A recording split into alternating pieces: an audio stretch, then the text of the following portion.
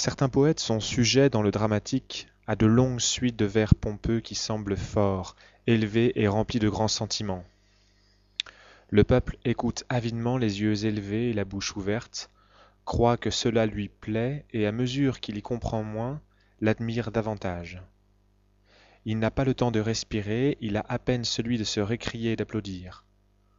J'ai cru autrefois, dans ma première jeunesse, que ces endroits étaient clairs et intelligibles pour les acteurs, pour le parterre et l'amphithéâtre, que leurs auteurs s'entendaient eux-mêmes et qu'avec toute l'attention que je donnais à leurs récits, j'avais tort de n'y rien entendre.